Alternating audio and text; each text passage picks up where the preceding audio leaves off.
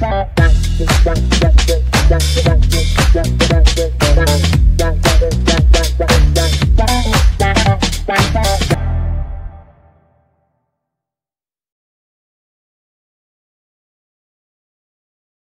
everybody, and welcome to What the Hell Should I Watch? I'm Steve Stebbing, I'm Chloe Stebbing. and we're here to put, uh, we're here to get.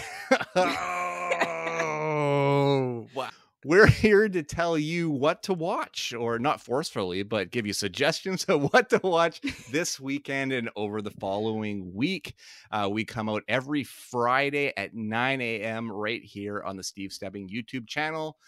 And uh, I wish I had a better movie to start with. I it this this one. I mean, I I think I jinxed it or called it uh, last week when I said I wasn't super excited for this movie, but it's Blumhouse's Imaginary. A woman returns to her childhood home to discover that the imaginary friend she left behind is very real and unhappy that she abandoned him. Yeah. Well, I mean, the first red flag of this movie is that it was directed by Jeff Wadlow. And I mean, the track record for Jeff Wadlow is not fantastic. Uh, he did that weird Yo Play Yop looking movie, Truth or Dare, with the weird smiles. Oh, And yeah, you know that movie? yeah. He remade the 70s and 80s show Fantasy Island as a horror movie Yeah. a couple of years ago, and that was not very good and not scary at all. Uh, he did a movie in the mid 2000s called Cry Wolf that was also not good at all. and he did the sequel to Kick Ass, which really, really, really severely bummed me out. That movie bummed me the hell out because you have such a good template. it. Yeah, Jim Carrey was in it. Like it was supposed to be like bigger and better addition onto Kick Ass. Like because Kick Ass 2, the comic book, is a really cool comic book, and he just failed it. Just failed it. And so for that reason, wasn't too excited about this one. Um it's really weird, and I don't know if we touched on this last week. I think we did a, a um a little bit, but it's really weird that Imaginary Friend is the theme of 2024. At least Yeah. in movies in the first half of the year. Yeah. I Like don't. this is like when they made um Snow White movies at the same time, Right. or like a trend, like a fad. Or like the 2010 zombie era where everything was zombies. which was the 10 year mark after the 2000 era zombie movie push. It's every every 10 years? Every 10 years? Yeah. Well, I don't yeah, know, I think- now, now, now it's back with um, The Walking Dead's The Ones Who Live, which is getting a phenomenal ratings, and it's very, very good. You should watch it. That's good. That's good. Is it the better of the spin-offs? Yes. Yes. Yeah. Um, I That's good. struggled through Fear, Dead City? Fear the Walking Oh, Dead. Fear the Walking Dead, which is is it done now or is it still going? I think it's done now. Um, Okay. They're pumping out ads for it like crazy, but I don't think there's Mm. anything new. I keep Well- checking, and it's still just season eight. Well, they um Lionsgate actually just sent me the Blu-ray for 8. I got it Right. last week. Um, Okay. But then there's Dead City, Mhm. right? Which is the Negan and Maggie show. Yeah, which was underwhelming, Okay. And then there was Daryl Dixon which was also underwhelming. Was underwhelming. Okay. Well, because the whole point of the the, the Daryl Dixon one was like, oh, we're going to see variants because it's Paris, and that's where the variants are, and that's where the virus supposedly originated. But there were no Right. variants. There was not even like a hint. Um, and then Dead City was just Maggie and Negan arguing the whole time. Fair enough. Fair enough. What were we what were we talking about? Oh yeah, we're talking about imaginary. Imaginary. Imaginary. Um, I, I like uh the lead actress in it, DeWanda Wise. I I I because I liked her in the uh the Jeymes Samuel Netflix movie, uh, the harder they the harder they come. Uh, it was like a western with Jonathan Majors and uh, Idris Elba and just a huge cast. Um, I liked her in that. She is just she can't hold this movie together at all. Nobody can hold this movie together at all. Uh, Betty Buckley is in this one, and um, might remember her from uh, Split. She was the psychiatrist in Split. Okay. Um, she is in her own movie when they get to the third act that I was like, where did this come from? Which is followed by an exit that didn't make any sense. And there's so much about this. Like the, the movie starts out with a very interesting and, and kind of cool looking scene that's really fun and nightmarish, but that's like the pinnacle of the movie is the first three and a half minutes and it's just it's all downhill from there it's not a scary movie at all um and yeah I, I i think it's just a waste of time in theaters really and which is really funny because i was one of six people in the theater and the other five were these loud like teenage girls that decided to come in and be on their phones the entire time and kick the hell out of the seats to the point that I actually had to yell at them and drop some serious f bombs on them. I I was yelling before I even I know. I was a, I was yelling before I even knew I was yelling. Like it was it was one of those out of body moments because I just felt like I'm already watching a terrible movie. like yeah don't make this any worse on me. And and theater etiquette, I hate to be yeah. this guy. It it's a really it's really important to me. It no, yeah, no, is. it's it's really important to me too. Like there is a Good. specific way that you are supposed to behave in a theater. Like respect the space that you're in. Mm-hmm. And mm-hmm. It it makes me so mad when like people just don't respect theaters. Mm-hmm. And I've I've yelled at some people in, my time. E- even as a child, you remember this? mm-hmm, I do. Yeah, I do. There was a Twilight screening where you yelled at somebody. Mm-hmm. mm-hmm. Pretty, pretty damn sure of it. Not yeah, Twilight, like, but New Moon. I think. yeah. Was, I think it was New Moon. Yeah, I think so. It was the one yeah. where Jacob's on the motorcycle and then they fall off and then he takes his shirt off. Yeah. Yeah. Isn't that all of them? I think that's all of them. Yes. I'm not complaining though. Um, but and I'm I'm also one of those people that claps after movies. Um, there we go. I'm usually the only one in the theater clapping, but I, I don't care. I'm like it's movies are a form of art, mm-hmm. and mm-hmm. e- even if a movie is bad, it's like I haven't made a movie. So I I'm proud of movie makers for making movies because for sure. it is a hard and long process and like mm-hmm. I'm not so much a- applauding the companies that they come out of but the people who put the work into it. Yes. Yes. And that's that's what matters to me. Um yes. but you know, that's just me. So well, all of that said, this is a one and a half out of five. it was like all of a lead up just for me to like just take a big crap on the movie. This doesn't apply to you. This doesn't. By the way, all of that aside, this was not a good movie. But I applaud yeah. them in making it, and I'm glad that Blumhouse is making stuff. And I will say that the highlight of this movie was that I get to watch. I got to watch the Strangers Chapter One trailer again in theaters because I'm looking forward to that one. I like the Strangers movies. Yeah, yeah, so do I. so next up is Anthony Hopkins delivering another hell of a performance in One Life. Sir Nicholas Nicky Winton, a young London broker who, in the months leading up to the World War, not the World War II, World War II, rescued over 600 children from Nazi occupied Czechoslovakia, starring Anthony Hopkins and Lena Olin.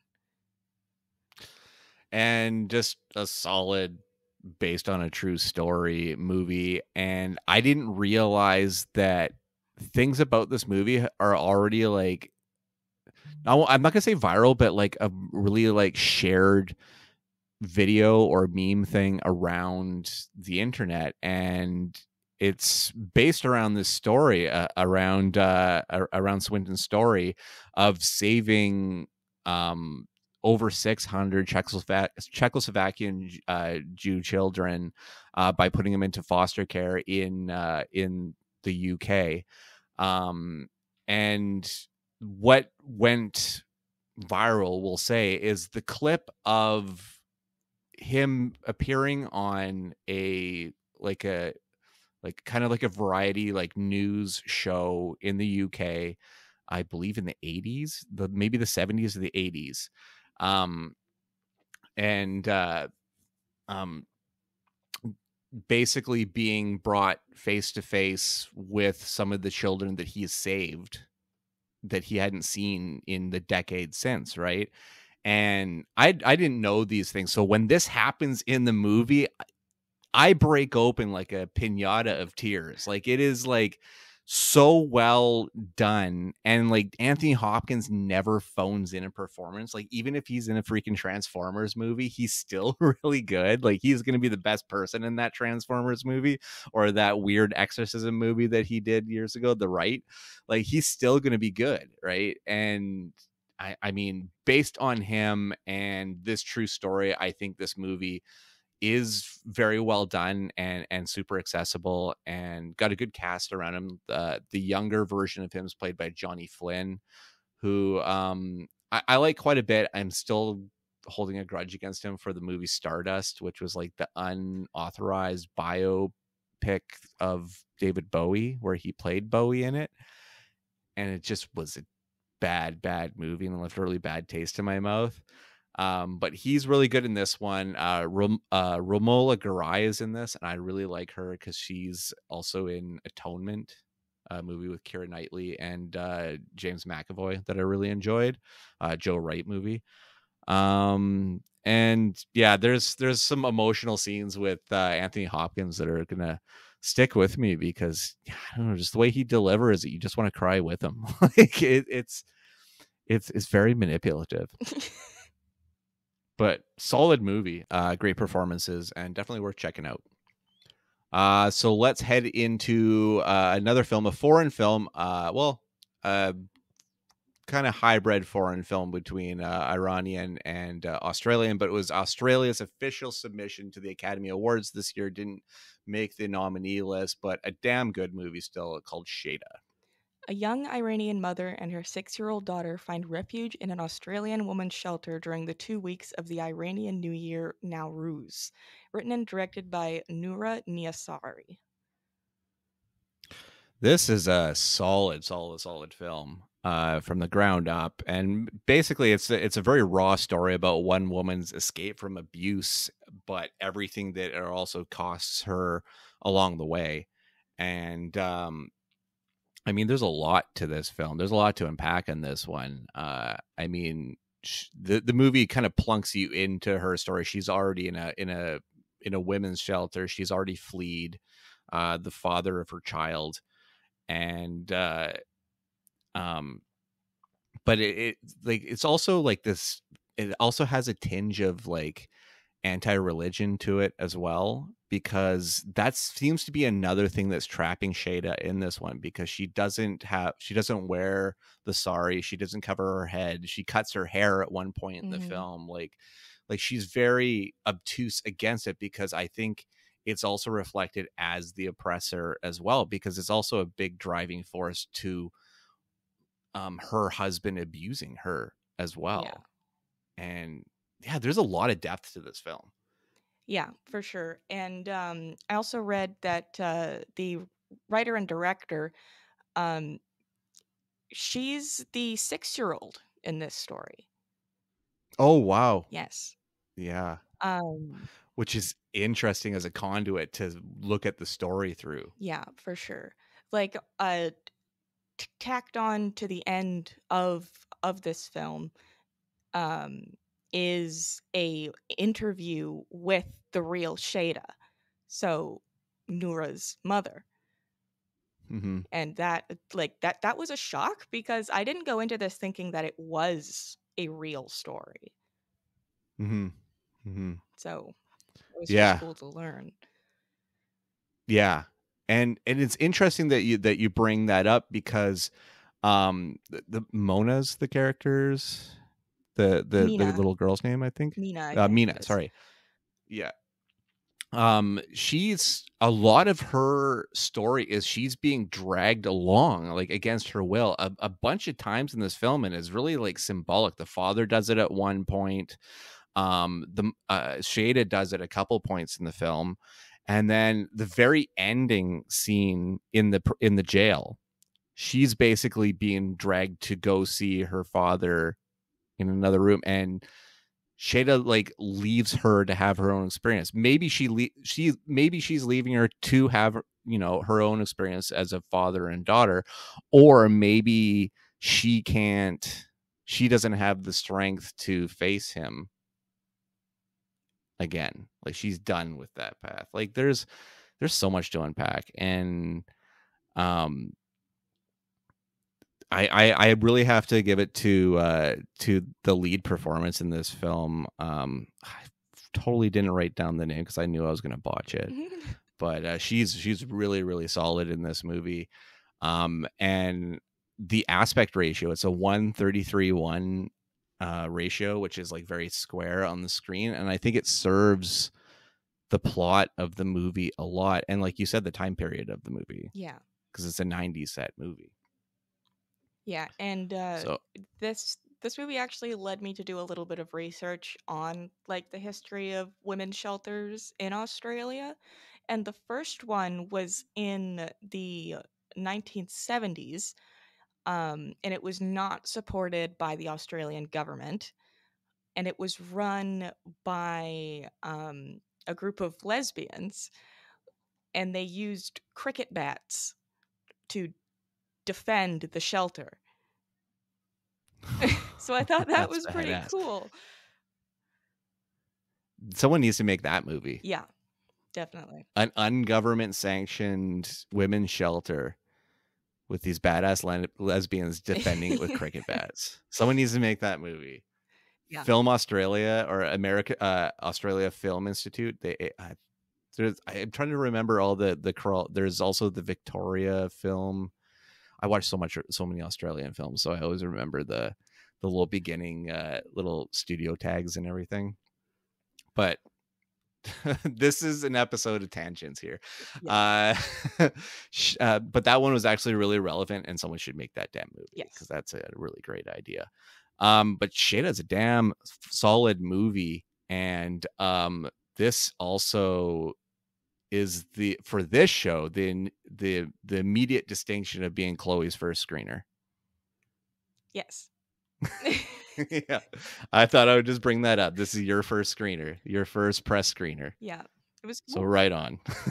yeah. Uh next up uh a Blu-ray that was sent to me by Well Go USA 1% Warrior. Two ruthless Yakuza gangs interrupt the shooting of an action flick at an abandoned factory. The action star isn't too pleased. 100 Yakuza against one? Too easy. Starring Tak Sakaguchi. Yeah, you got it. Yep. That's his name. Uh, he was he was in a cool movie called uh, Versus in like uh, 2000 era, like a really cool Japanese movie that I highly recommend. It's like very cool. Um, and then he was in a movie with Nicolas Cage, uh, 2018 called Prisoners of the Ghostland, which is like this post-apocalyptic meets samurai movie with a lot of gore and stuff to it. And it, Nicolas Cage freaking rules because he's Nicolas Cage. Of course. Um, it's a badass movie. Um, but he was in that. And I guess they changed the Canadian title because anywhere you look this one up, it's called The One Percenter um, but, but yeah, basically it's about the Yakuza descending on this action, this low budget action movie shoot.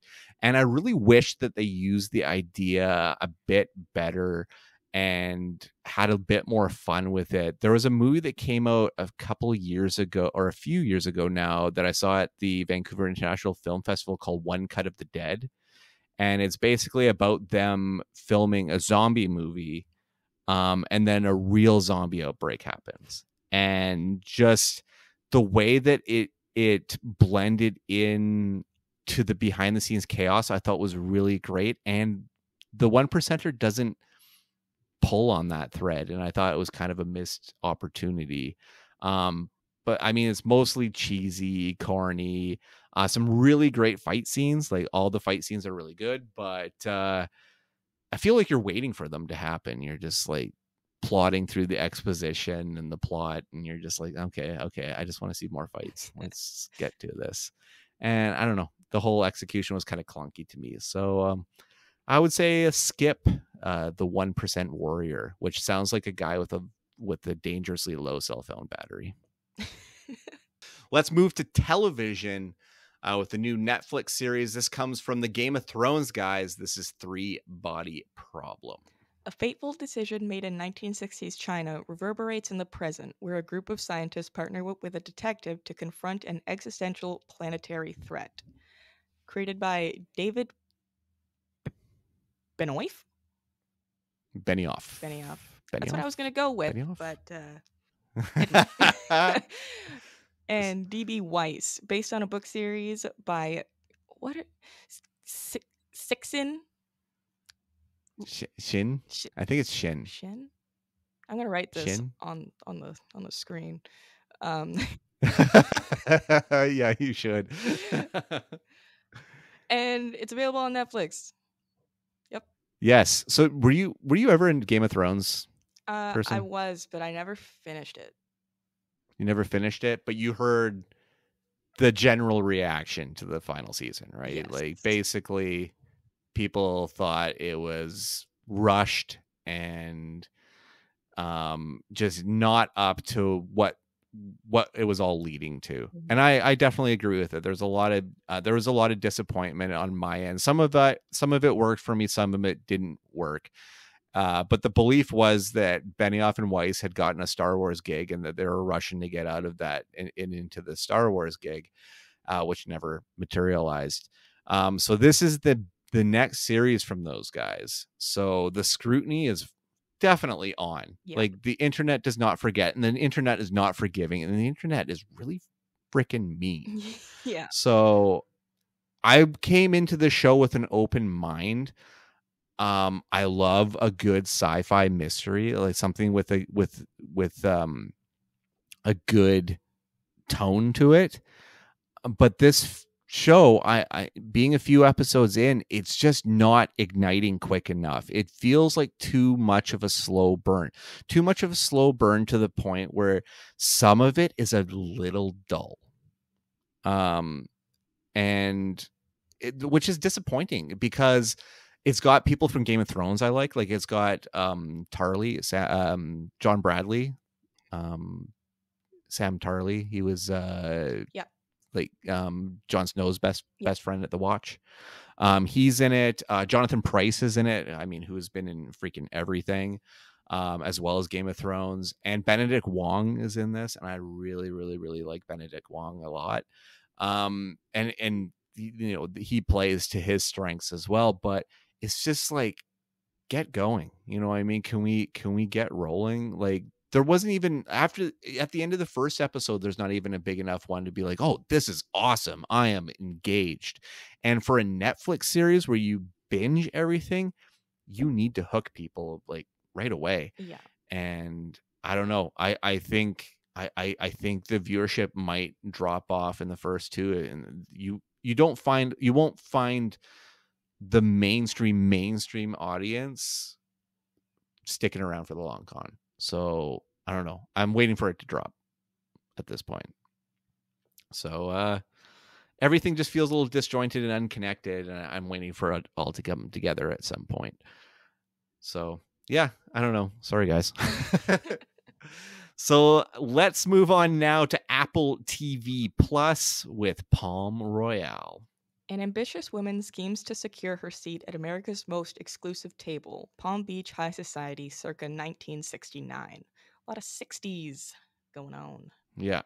Yeah, right? It's, uh, it's the eras stuff. At least we're not, I don't think we're, oh no, we are hitting space in this episode. I was like, we don't have any space coming No, we have space coming up. Sorry. We just had it's space. It's the way it goes. Did we just have the planetary threat?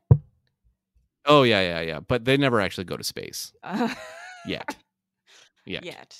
That yeah. I know of yet. Yeah. Yet. It's all been. It's all been. It's all been ground level at this point.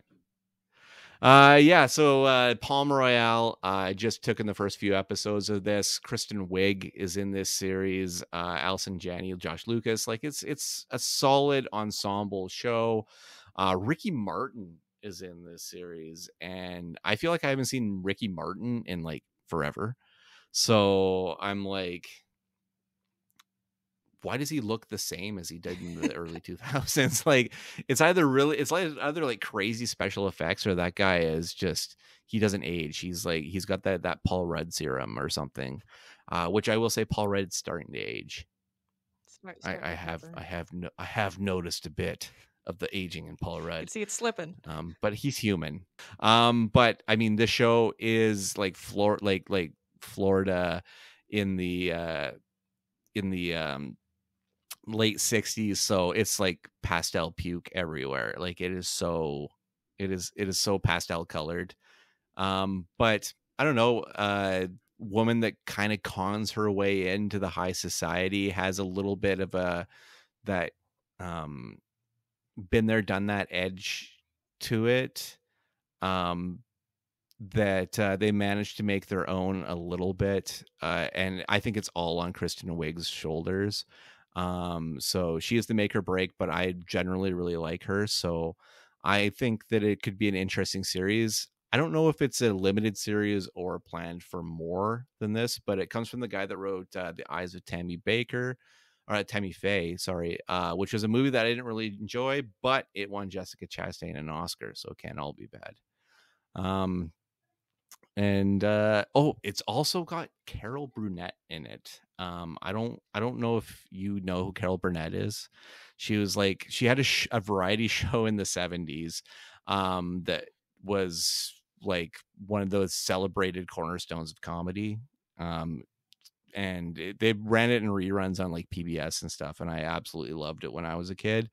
But she is like she's kind of in that category of like Dick Van Dyke and and all of these like now like very old comedy icons. Mm-hmm. Um, and Carol Burnett's a very important one. And she, as far as I'm watching it, she's plays an un- unconscious person in this series. So, um, doing good work, Carol. Uh, playing unconscious, but uh, I'm enjoying it so far. Uh, it's not like wow, everyone has to see this. So if it does get to that point, I will bring it to the show. Uh, let's get on to some sci-fi. Let's go to space, Chloe. Again? We're gonna go space. yeah, again, again. We we always must return. We are we're always returning to space or the Holocaust. I don't know. um, but this is on uh, Prime Video, I believe. I think I wrote it in the yes. show notes. It's Beacon Twenty Three. A man living in the 23rd century works at a remote lighthouse in space that serves as a beacon to help passing ships, starring Lena Headey and Stephen James. Stephen James. Created by Zak. Stephen James.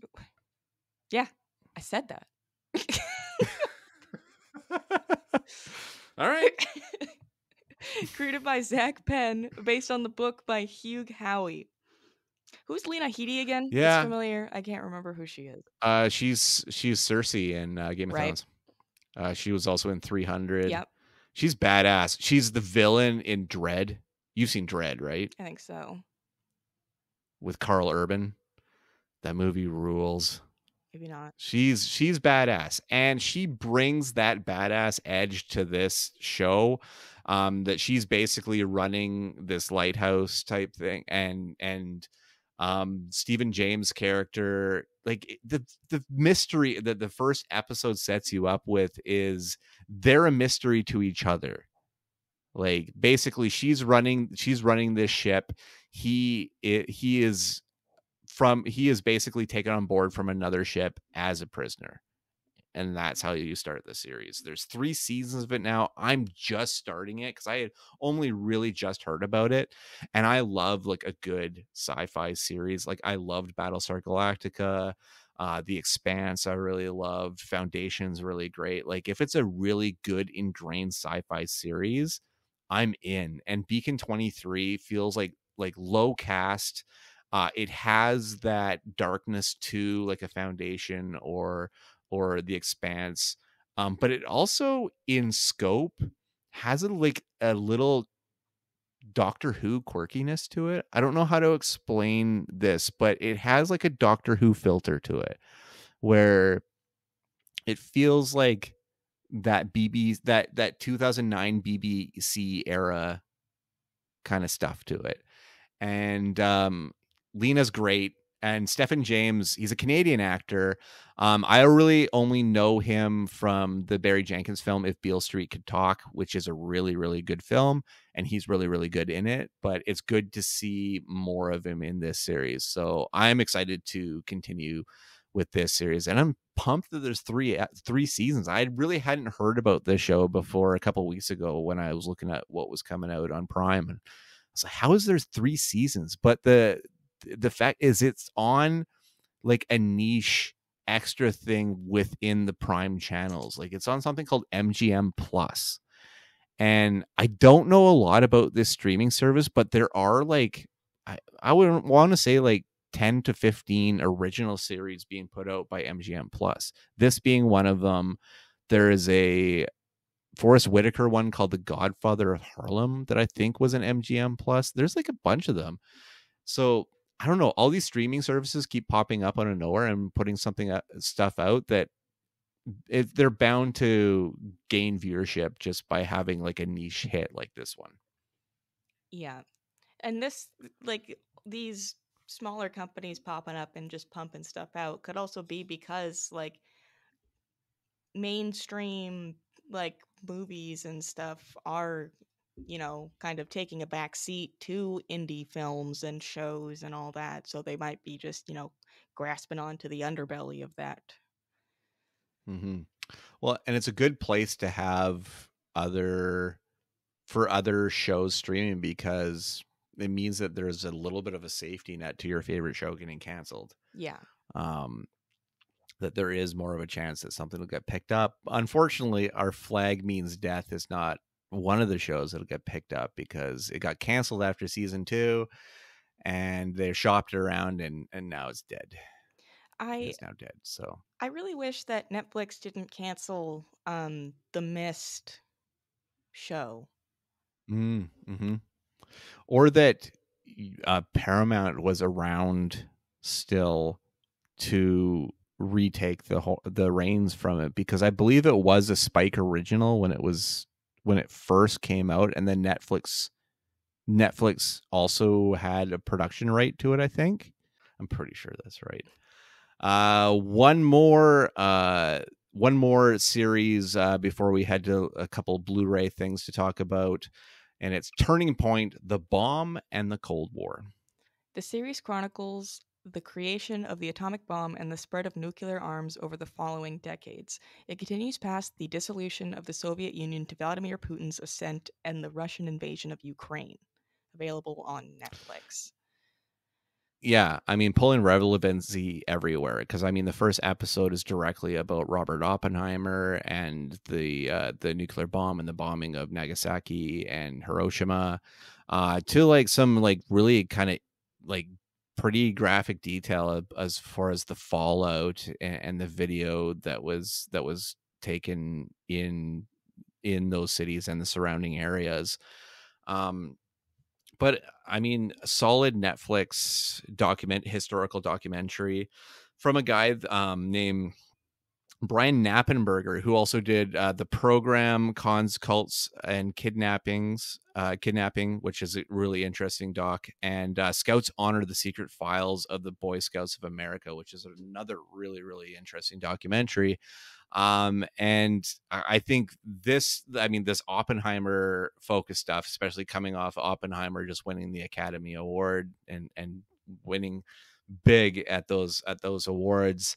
Um, and then, of course, we're in year three of the war between Russia and Ukraine right now. Um, it's like it, the, everything about this is is really relevant, and then to have the discussion of the Cold War in between it is is is very cool too.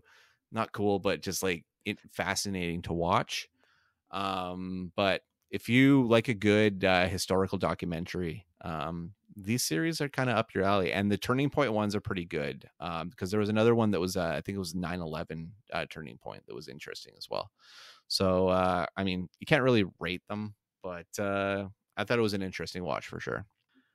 All right, so let's head into a couple quick Blu-ray things because I, I mean, I don't really have a lot to to bring about it. Um, but Suits Complete Series is out, and this gives me the chance to finally finish Suits or to to start cruising through the seasons. Um, and you know, re-immersing myself in it with this box set.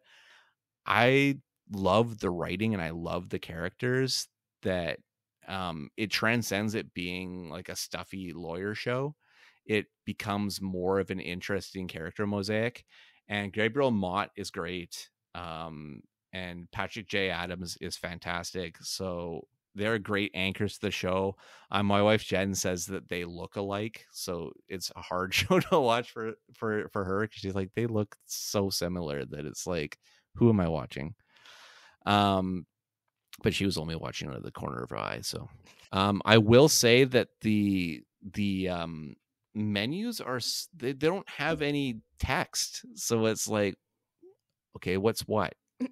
Like, does that play all? Where where do I access just an episode? Or like, can I get some text and some navigation here, please? Like, are we just trying to be cool and trendy by not identifying things? Um, but it's got all nine seasons. It's got an alternate version of the pilot and an alternate version of the season two finale. Gag reels in each season, and I love a good gag reel. Um, but sadly, not enough commentaries because comment for a Blu-ray guy like me, commentaries are it's, it's a big deal. That's so. why why you get it. Yeah, partly. yeah, it's a big reason for it. I don't know if you ever got into Suits at all. Did you get in Suits? No. No, not your type, but not your show. I tried to get into like, Mad Men, no. and I was like, no.